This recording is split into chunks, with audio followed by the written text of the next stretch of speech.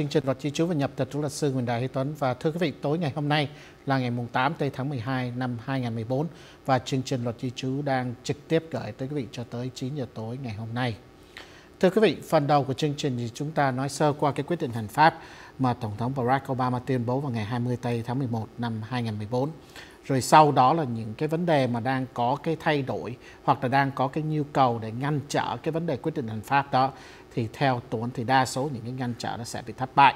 Rồi phần trăm rất là cao là cái quyết định hành pháp sẽ tiến hành à, trong vòng mùa xuân của năm 2015 kế tiếp thì Tuấn có cái visa Bolton của tháng 12 à, của tháng 12 năm 2014 và đây là cái visa bulletin mà của trung tâm visa đưa ra hàng tháng cho quý vị để cho biết là cái thứ tự hồ sơ bảo đâu.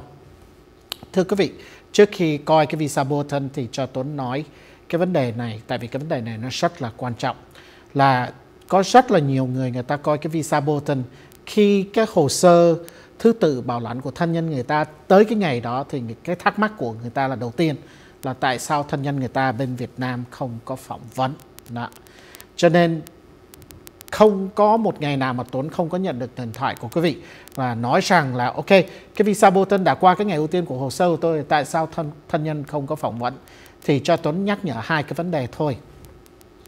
Cái visa Bolton là cái benchmark thôi, là cái mức thôi để cho quý vị biết rằng nếu mà cái hồ sơ đã hoàn tất rồi thì khi nào cái lãnh sự quán có quyền được phỏng vấn thôi hoặc là khi nào thân nhân quý vị ở trong nước Mỹ có thể nộp hồ sơ xin phỏng vấn mà thôi. Cái thứ nhì nữa đó là đó nhớ rằng đây đây là cái mức để cho mình biết chừng nào mình có quyền phỏng vấn.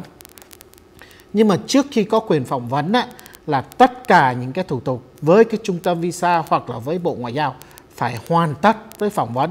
Cho nên nếu mà cái hồ sơ mình đang làm thủ tục với trung tâm visa mà nhiều khi trung tâm visa nó rất là nhiều hồ sơ nó chậm trễ nữa thì mình phải cho biết rằng là cho dù cái thứ tự mình đã tới trong cái visa bulletin mình phải chờ người ta hoàn tất cái hồ sơ nữa.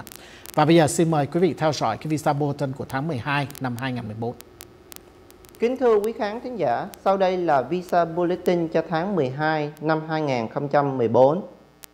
Diện F1, công dân Hoa Kỳ bảo lãnh con độc thân trên 21 tuổi, đang giải quyết tới ngày 22 tháng 6 năm 2007 Diện F2A thường chủ nhân bảo lãnh cho vợ, chồng hoặc con độc thân dưới 21 tuổi đang giải quyết tới ngày 22 tây tháng 3 năm 2013. Diện F2B thường chủ nhân bảo lãnh con độc thân trên 21 tuổi đang giải quyết tới ngày 22 tây tháng 2 năm 2008. Diện F3 công dân Hoa Kỳ bảo lãnh cho con đã lập gia đình đang giải quyết tới ngày 15 tháng 2 năm 2003. Diện F4, công dân Hoa Kỳ bảo lãnh anh chị em đang giải quyết tới ngày 22 tây tháng 2 năm 2002. Đây là visa bulletin cho tháng 12 năm 2014. Xin trở lại với chương trình luật di trú và nhập tịch và bây giờ xin mời quý vị gọi vào cho chương trình tối nay. Số điện thoại là số toll free 844 858 7000 đó là 844 858 7000 và khi quý vị gọi vào làm ơn vặn nhỏ cái tivi xuống và cho Tuấn biết tên của quý vị. Và bây giờ cho Tuấn xin mời đường dây đầu tiên. Dạ xin mời lên tiếng ạ. Cho Tuấn biết tên và gọi từ đâu đi ạ? Dạ xin mời lên tiếng ạ. Cho Tuấn, uh, đây là chương trình luật di trú và nhập tịch ạ. Hello. Dạ xin mời lên tiếng đi ạ. Cho Tuấn biết tên và gọi từ đâu đi ạ? Dạ xin mời lên tiếng ạ. Dạ vâng, xin à, thưa quý vị, quý vị đang theo dõi chương trình luật di trú và nhập tịch ạ. À, cho Tuấn biết tên và gọi từ đâu đi ạ? Dạ xin mời lên tiếng đi ạ. À, dạ chào luật sư, tôi tên Phong, tôi gọi từ Dallas. Dạ vâng, xin mời ông Phong từ Dallas ạ. À, sư xin hỏi em câu là tôi có bảo lệnh người anh mà có hai đứa con hồ sơ bảo lệnh à, năm 2003 tới năm tháng 2 năm 2003 tới tháng 9 năm 2009 mới approve mới chấp thuận. Thì, thì khi bảo lần à, tới tháng 9 2009 á, thì đứa cháu đứa con đầu của anh nó là mới 15 tuổi mà bây giờ nó sắp sửa 21 tuổi rồi thì nó có được đi không? Và nếu có được đi thì mình có cần làm giấy tờ gì không? Dạ vâng. Cái ngày tháng năm sanh của đứa cháu đó bây giờ là ngày tháng nào vậy ông Phong ạ? À, ngày ngày 1 tháng 3 năm 2 năm 1994. Dạ vâng, cho nên cháu nó bây giờ là sắp sửa 21 tuổi. À, khoảng 3 tháng là cháu nó 21 tuổi. Ngoài cái vấn đề này ông còn câu hỏi cho tôi nữa không ông Phong ạ? À, à, câu hỏi là ví dụ như nếu nó được đi thì mình có cần làm phong cái đơn gì không? Dạ vâng, thôi cảm ơn ông rất là nhiều và cái đó là ông đã hỏi rồi. À, thưa ông Phong ạ, đây là cái hồ sơ anh chị em hồ sơ anh chị em đó là ưu tiên 4 thì bây giờ cái cái trung tâm visa nó đang có cái thứ tự là ngày 22 tây tháng 2 năm 2002 22 tây tháng 2 năm 2002 hồ sơ gia đình của ông là tháng 2 năm 2003 thì nó còn trên một năm, tôi nghĩ nó khoảng 2-3 năm nữa. Hồ sơ này ông nộp vào tháng 2 năm 2003 nhưng mà nó chấp thuận là tháng 9 của năm 2009 nghĩa là 6 năm 7 tháng thì sở di trú nó chấp thuận cho cái hồ sơ này cái đứa cháu đó thì sanh vào ngày 1 tây tháng 3 năm 94 thì ngày 1 tây tháng 3 năm 2015 thì cháu nó 21 tuổi. Cháu nó có quyền được ăn theo cho tới lúc cháu nó 27 tuổi 7 tháng. 27 tuổi 7 tháng tại vì cái thời gian đợi chờ là từ tháng 2 năm 2003 cho tới tháng 9 năm 2009. Đó là 6 năm 7 tháng cộng với 21 tuổi là được đi cho tới lúc 27 tuổi 7 tháng. Tháng 3 này cháu mới 21 tuổi, tới hồ sơ này còn khoảng 2 năm nữa thì tôi nghĩ cháu nó sẽ có quyền được ăn theo ba má cháu. Đây là cái vấn đề đạo luật CSPA, Child Status Protection Act để bảo vệ cái quyền lợi của cháu cho dù cái tuổi đời của cháu sẽ trên 51 nhưng mà cháu nó vẫn được ăn theo tại được áp dụng cái luật này. Áp dụng cái luật này đòi hỏi cái khóa tuổi, cái khóa tuổi nó chưa có tới nha. Cho nên khi mà cái cái cái cái thứ tự nó tới cho cái hồ sơ của tháng 2 năm 2003 thì gia đình có một năm để làm thủ tục để khóa cái tuổi của cháu nó lại. Rất là cảm ơn ông Phong và bây giờ không cần làm gì hết. Và bây giờ cho Tuấn xin mời dây kế tiếp ạ. Dạ, xin mời dây kế tiếp lên tiếng đi ạ. Dạ, xin mời lên tiếng đi ạ. Dạ, xin chào luật sư ạ. Dạ vâng, chào ông ạ. Cho Tuấn biết tên và gọi dạ. từ đâu đi ạ. Dạ, em tên là Đạt, gọi từ à, thành phố Đà Lạt ạ.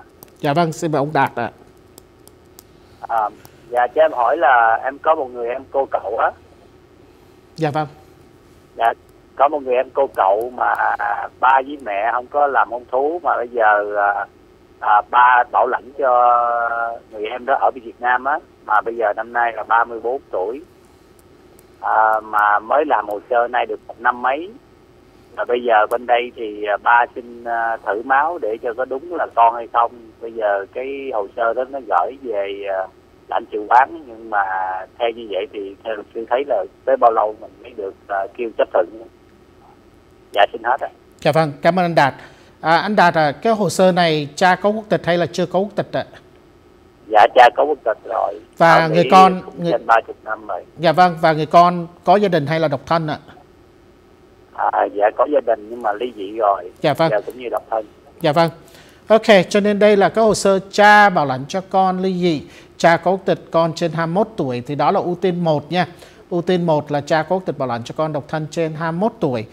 Cái chi tiết này nó rất là quan trọng và Tuấn đã đề cập nhiều trong vòng khoảng 1 tháng, 2 tháng trở đây rồi. Là khi người cha bảo lãnh cho con, khi người cha bảo lãnh cho con thì ngoài cái vấn đề cha ruột hay là không phải cha ruột cần đề cập cái vấn đề con trong giá thú hay là không phải trong giá thú. Cho nên nếu mà anh Đạt nói rằng đây ba ba của cái người bên Việt Nam và mẹ của cái người đó không có đăng ký kết hôn, nghĩa rằng đây là con ngoại hôn rồi ngoại giá thú rồi. Cho nên á coi lại những cái chương trình trước đây mà Tuấn đã nói, cái chương trình này Tuấn nói cách đây khoảng 6 tuần hoặc là 7 tuần thôi, mà Tuấn đều post trong cái YouTube hết. Thì trong cái YouTube Tuấn nói về con trong giá thú và con ngoại giá thú. Thì trong giá thú đó là khi mà đứa con sanh đẻ ra, ba má đã có giấy hôn thú rồi. Còn nếu mà không có giấy hôn thú đó thì phải làm hôn thú trước khi em nó 18 tuổi. Còn nếu mà không làm hôn thú luôn thì phải nhìn nhận trước khi 18 tuổi. Mà nếu mà không làm những cái thủ tục nhìn nhận trước khi 18 tuổi thì phải có chứng cớ mình nuôi dưỡng cái người đó trước khi 18 tuổi nữa. Cho nên ngoài cái thử DNA không để trình bày cái mối ruột thịt nữa, phải cần đề cập cái vấn đề con ngoại hôn. Con ngoại hôn chỉ có quyền bảo lãnh nếu mà kết hôn lại với mẹ cháu trước khi 18 nếu mà nhìn nhận cháu nó trước khi 18 còn nếu mà không làm cả hai thì phải có chứng cớ nuôi cháu nó trước khi 18 tuổi. Cho nên đừng có nghĩ rằng là cái thử DNA không nó sẽ giải quyết được cái giấy chấp thuận. Nếu mà không có giải quyết về vấn đề con trong giá thú còn ngoài giá thú, cho dù có cái DNA nữa, cái thử máu nữa, nó vẫn sẽ từ chối cái hồ sơ cho nên anh Đạt coi lại những cái uh, video clip hoặc là anh có thể email người ta những cái video clip để cho người ta hiểu rõ rằng là cái bổ túc này nó không phải liên quan tới vấn đề ruột thịt hay không mà nó lại liên quan tới vấn đề con trong giá thú hay là con ngoại giá thú nữa. Tại trên cái mặt luật di trú cho người cha thì nó sành riêng cái vấn đề và phải đề cập cái vấn đề con trong giá thú hay con ngoại giá thú. Cảm ơn anh Đạt rất là nhiều và bây giờ cho Tuấn xin mời đường dây kế tiếp ạ. Dạ xin mời lên tiếng ạ, cho Tuấn biết tên và gọi từ đâu đi ạ. Dạ, dạ xin mời cô ạ, cho Tuấn biết tên và gọi từ đâu đi cô. Dạ dạ dạ chào luật sư Tuấn. Em tên uh, Nga gọi từ Houston đó. Dạ vâng mời cô Nga. Em muốn hỏi luật Dạ em muốn hỏi luật sư Tuấn là ba em có quốc tịch bảo lãnh cho chị em và hai đứa cháu trên hai trên, mà độc thân á mà giờ hồ sơ là chấp thuận là tháng tháng 7 2000 à, tháng 10 2007 mới tới giờ thôi chưa thấy làm giấy bảo trợ ở trung tâm visa gì hết chưa nhận được cái gì hết đó luật sư. Dạ vâng. À, xin à. lỗi đây là cha bảo lãnh cho con độc thân cha có quốc tịch bảo lãnh cho con độc thân trên 21 tuổi ha. À, hồ sơ nộp dạ, hồi dạ. nào vậy cô Nga? Dạ hồ sơ là là là là 2007 tháng 10 á. Dạ vâng. Và sở y chú nó chấp thuận hồi nào vậy cô sở di trú nó chấp thuận thế nào? biết bây giờ em chưa nhận ba em chưa nhận được về tài chính bảo trợ và chưa nhận được cái giấy gì okay. đó. Cô Nga nếu vậy cảm ơn cô rất là nhiều nha. Ok. Thưa quý vị khi quý vị gọi vào cho cái chương trình làm ơn cái chi tiết của cái hồ sơ quý vị phải cho nó rõ ràng. À, nói sơ qua thì cái trường hợp của cô là cô muốn biết là nếu mà ba cô bảo lãnh cho người con của ông ta mà trên 21 tuổi mà ba cô có quốc tịch mà người con độc thân hồ sơ làm thời gian khoảng tháng 10 năm 2007 thì cô muốn hỏi tại sao chưa có chuẩn bị để cho phỏng vấn với cái lãnh sự quán. Thì hiện tại bây giờ cái visa bulletin đang tới cho ngày 22 tây tháng 6 năm 2007 cho ưu tiên 1 là có quốc tịch bảo lãnh cho con độc thân trên 21 tuổi. Nếu mà hồ sơ này tháng 10 mà cô chưa có nhận gì thì tôi nghĩ cô cần liên lạc với cái văn phòng mà hiện tại đang giúp cho cô để cho người ta có thể liên lạc với trung tâm visa nếu mà hồ sơ đã được chấp thuận để xem có cách nào cái trung tâm visa có gửi những cái thủ tục để cho ba của cô có thể tiến hành để cho mấy anh chị ở bên Việt Nam được phỏng vấn ha. Nhưng mà ngược lại, đây là cái hồ sơ tháng 10 năm 2007, nếu mà hồ sơ nó đầy đủ rồi nó cũng chưa có quyền phỏng vấn. Nhưng mà đa số những cái hồ sơ vào tháng 10 năm 2007 thì bây giờ trung tâm visa đã bắt đầu yêu cầu chuẩn bị hồ sơ cho phỏng vấn. Cảm ơn cô Nga rất là nhiều và bây giờ cho Tuấn xin mời dây kế tiếp. Xin mời dây kế tiếp lên tiếng điện. ạ. Hello. Mời cô ạ, cho Tuấn biết tên và gọi từ đâu đi cô ạ. Dạ. dạ, xin chào luật sư. Tôi là Liên ở Gia Lâm đó luật sư. Dạ vâng, mời cô. Dạ, à, cảm ơn luật sư trước là cách đây mấy tháng đã hỏi giờ luật sư thí dụ mà bảo lãnh thân nhân qua du lịch với luật sư. Dạ, vâng. dạ rất là dễ dàng mà tới mười triệu người ta đã về rồi. Cái câu hỏi ờ, bữa nay nó hỏi luật sư là cái passport của tôi đó nó đã hết hạn hồi tháng 3 năm vừa rồi tức là bây giờ là tháng 12 quy là hết hạn 9 năm rồi luật sư. Nhưng mà tôi biết trong thời gian rất là dài tôi không có đi đâu ra khỏi nước Mỹ. Nên mà nếu giờ tôi làm trễ cái renew cái mới hết luật sư dạ vâng. mà thời gian trễ nhiều quá cái bị phạt gì không luật sư? Dạ vâng đây mình nói cái dạ vâng đây là mình nói cái passport Hoa Kỳ phải không cô? Là có hộ chiếu Hoa Kỳ á. Là mình dạ, đang Hoa nói Kỳ. dạ vâng quốc tịch Hoa Kỳ rồi phải không cô Liên ạ dạ vâng ạ. Dạ vâng cảm ơn cô rất là nhiều. Dạ. Xin lỗi luật sư tôi tôi hẹn up điện thoại tôi nghe TV như luật sư. Dạ vâng cảm ơn cô. À, đầu kia đầu tiên là cô welcome không có cần gì cảm ơn tôi. Tại vì cái chương trình này mình cố gắng mình à, cung cấp những cái tin tức và những cái chi tiết để giúp cho cô thôi chứ không cần gì cảm ơn tôi. À, cái thứ nhì nữa đó là cái hộ chiếu Hoa Kỳ mình chỉ cần khi mình cần đi quốc tế thôi. Nhưng mà nhiều khi có những cái trường hợp mà mình cũng nên có cái hộ chiếu đó, đó. giả sử giống như là à, những cái cơ quan nào đó đòi hỏi hai cái ID vừa cái bằng lái và vừa cái nào đó nữa. Cho nên nó rất là thông dụng. Và cái giá cả cho cái hộ chiếu mà nếu mà xin gia hạn nó 10 năm lận thì nó rất là đáng để làm. Cái cuối cùng nữa đó là nếu mà có chuyện gì khẩn cấp á, thì quý vị sẽ thấy là có cái hộ chiếu trong tay nó rất là thông dụng cho quý vị mà nó rất là à, giúp cho quý vị giải quyết cái vấn đề khi mà cái chuyện nó xảy ra. À, trên cái mặt luật đó, nó không cái cơ quan ở đây nó không bắt quý vị phải làm hộ chiếu. Nhưng mà nếu mà quý vị đi quốc tế phải có cái hộ chiếu. Đó. Cho nên á, nếu mà hộ chiếu đã hết hạn 9 tháng rồi hoặc là 9 năm rồi nếu mà cô không cần đi đâu thì không cần. Nhưng mà đối với tốn á, cái hộ chiếu là một cái à, một cái instrument một cái, cái cái phương cách mà nó rất là thông dụng. Khi cái chuyện nó bất ngờ nó xảy ra thì mình có sẵn. Cho nên cái đó thì nó quan trọng cho nên nếu mà Tuấn thì nên cố gắng gia hạn. Tại vì nhiều khi nếu mà quý vị cần đi cruise hoặc là có cơ hội đi đâu gần đây thì cũng phải cần cái sử dụng cái hộ chiếu đó. Cảm ơn cô Liên ở thành phố Garland rất là nhiều. Và bây giờ cho Tuấn xin mời đường dây kế tiếp. Dạ xin mời dây kế tiếp lên tiếng đi ạ.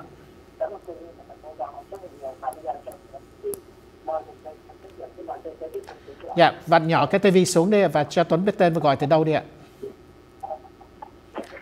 Dạ, xin mời lên tiếng đi ạ. Ok. Dạ, xin mời lên tiếng cho Tuấn biết tên và gọi từ đâu đi ạ. Alo, phải cô không cô bác luật sư. Dạ vâng, mời cô ạ. Cho Tuấn biết tên và gọi từ đâu đi cô ạ. Dạ, dạ tôi ở gia là dạ tôi tên năm luật sư. Dạ vâng. Dạ luật sư cho tôi hỏi, tôi có quốc tịch mà tôi muốn lãnh ba mẹ tôi mà tôi có ba đứa em ba đứa em một đứa 6 tuổi một đứa 9 tuổi một đứa 11 tuổi nếu mà à, vậy thì phải là khi mà ba mẹ tôi đi vậy thì em tôi có phải đi được đi chung không Dạ vâng. Và đây là câu hỏi cho một người con có quốc tịch muốn bảo lãnh cho ba mẹ rồi muốn bảo lãnh cho mấy em dưới tuổi thành niên phải không ạ? dạ một đứa 6 tuổi một đứa 9 tuổi một đứa 11 Dạ vâng. tuổi Cô Năm ngoài cái câu hỏi này cô còn câu hỏi gì khác cho tôi nữa không cô Năm? dạ Ngoài cái trường hợp này cô còn câu hỏi gì khác nữa cho tôi không? Dạ dạ không luật sư. Dạ vâng, cảm ơn đã gọi vào cho chương trình tối nay cô. Thưa cô Năm, à, đầu tiên á, là hiện tại bây giờ với cái cái cái mặt luật hiện tại bây giờ của Sở Di trú và Nhập tịch khi người con bảo lãnh cho cha mẹ thì cha mẹ rơi vào cái mối quan hệ gọi là trực hệ trên mặt luật di trú thì cái visa nó có liền thì người ta có thể phỏng vấn đi liền. Thì ăn thua cái thời gian làm thủ tục thôi từ sở di trú cho tới trung tâm visa cho tới cái lãnh sự quán nhưng mà chị bảo lãnh cho em, cho dù em là 3 tuổi 6 tuổi 9 tuổi, phải chờ trên 12 năm. Cho nên trong cái trường hợp đó đó, trong cái trường hợp đó, người con không có được ăn theo. Lý do tại sao? Tại đây là hồ sơ chị em ưu tiên 4 chờ trên 12 năm.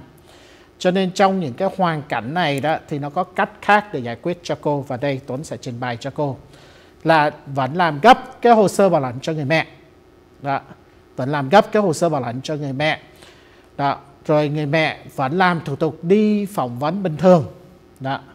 Cho nên nộp ký 130 cho người mẹ vào sở di trú, đóng 420 đồng chờ sở di trú duyệt. Chuyển qua trung tâm visa, đóng tiền visa, làm giấy tờ bảo trợ tài chính đơn xin visa DSI 60 rồi sau đó người ta sẽ phỏng vấn cô ta ở bên Việt Nam.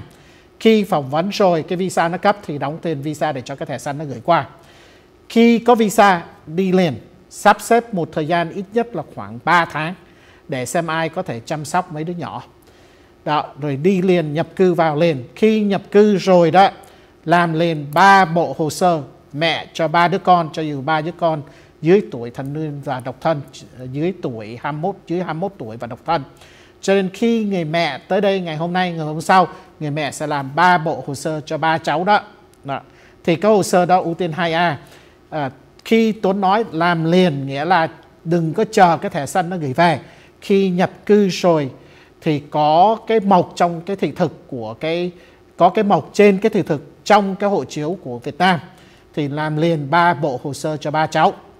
Đồng thời làm cái cuốn sổ reentry permit là cái cuốn sổ bảo vệ cái tình trạng thường trú nhân cho cái người mẹ đó. Đó, nộp liền ba bộ hồ sơ thì cái sở di trú sẽ cho cái ưu tiên 2A thì mấy cháu nó chờ 18 tháng cho tới 30 tháng.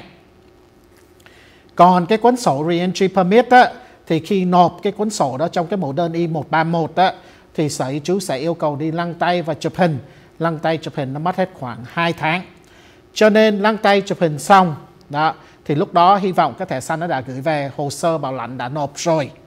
Thì bà ta người mẹ có thể trở về Việt Nam tiếp tục lo cho mấy đứa con nuôi đứa con tiếp tại vì người mẹ và người cha đã ly dị rồi đó, thì cái cái cuốn sổ đó, reentry permit người ta cho có giá trị 2 năm, thì có thể trình bày cho sở di trú là mình cần ở Việt Nam lâu như vậy, tại các hoàn cảnh như vậy thì tôi nghĩ cái sở di trú tại sân bay nó không có gì trở ngại đâu. Rồi trong cái thời gian đó, khi cái cuốn sổ sắp sửa hết hạn này cũng cần qua lại bên nước Mỹ. Nhưng mà tới cái thời điểm đó là cái hồ sơ của cái mấy cháu nó cũng sắp sửa được phỏng vấn rồi. Cho nên đó là cái cách duy nhất mà thôi. Đó, nghĩa là cứ làm bảo lãnh cho bà ta là người mẹ. Mẹ có visa đi qua lên, qua lên chuẩn bị ở khoảng 3 tháng nộp đơn bảo lãnh liền cho ba đứa con, nộp đơn xin re-entry permit liền, lăng tay xong rồi đi về trả cái hồ sơ bảo lãnh đó. À, cảm ơn cô rất là nhiều gọi từ bên khu vực Dallas. Thưa quý vị, tới đây cũng hết thì giờ cho chương trình tối nay và tối nay là ngày à, mùng 8 tây tháng 12 năm 2014. À, rất là chân thành cảm ơn quý vị đã gọi vào và tham dự chương trình tối nay. Và rất là chân thành cảm ơn quý vị cũng theo dõi cái chương trình này. À, nhân tiện cho Tuấn nói sơ qua thôi là cuối năm thì cũng sắp sửa vào mùa những cái mùa holiday mùa Noel. Thì đây là cũng là cái cơ hội chúng ta coi lại những cái chương trình tương lai. À, những cái chương trình kế tiếp trong vòng một hai tuần thì chúng ta sẽ coi lại những cái phát triển lớn nhất mà nó xảy ra trong vòng năm nay là từ đầu năm 2014 cho tới cuối năm là chúng ta sẽ review lại tất cả những cái tin tức gì mà nó xảy ra trong cái thời gian vừa qua. Thì trong đó sẽ có cái quyết định của à, tòa cáo tối cao pháp viện liên quan tới cái đạo luật CISPA sẽ có tới cái vấn đề liên quan tới quyết định hành pháp. Đó là sơ qua thôi cho nên trong cái chương trình vài tuần à, tiếp thì chúng ta sẽ nói nhiều về cái chuyện lớn gì đã xảy ra trong vòng năm 2014 và khi nếu mà cái chương trình có gì thay đổi thì Tuấn sẽ cố gắng thông báo cho quý vị. À, thưa quý vị, tới đây xin chấm dứt chương trình và xin chân thành cảm ơn quý vị và xin chúc quý vị một buổi tối và một tuần rất là vui tươi và hạnh phúc. Và xin tạm hẹn quý vị vào mỗi chiều tối ngày thứ hai. Xin kính chào.